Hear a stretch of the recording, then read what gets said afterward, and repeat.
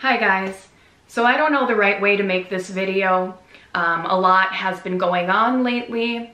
Some of you may already know from Instagram, but for those of you who don't, John and I are no longer together.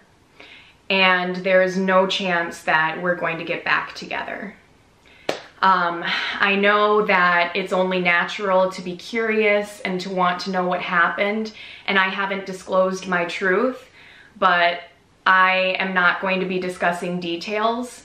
Um, I hope you can understand and respect that. Sometime in the future, I may need to make a statement, but this isn't anytime soon and we're looking at months out.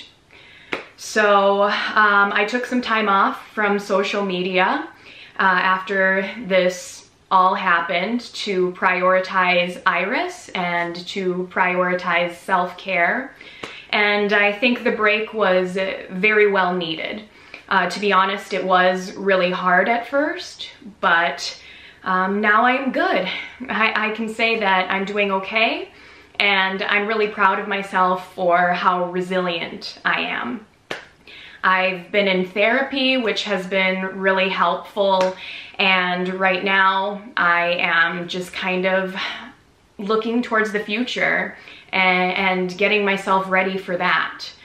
Um, Iris and I are, are, living here together. I have um, Harmony, Lola, Aphrodite, Simon, Gizmo, and the turtle. And we, I've just been kind of uh, getting into my new groove of being a single mom. Um, oh, I did also forget to tell you that uh, shortly after John and I broke up, my dad slipped on the ice and broke his leg. So I was taking care of him for about a, mo a month. So that's a, another thing that, that was going on in my life.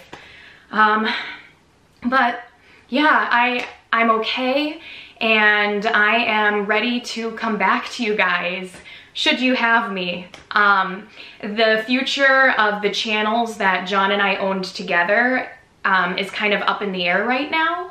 So I don't really know what's happening with that, but I will be posting here and I'll even be posting some vlogs, just kind of going around showing you guys uh, what I've been up to at life, in life or what I'm doing with my life now. Um, I need to come back. Single mama's got bills to pay.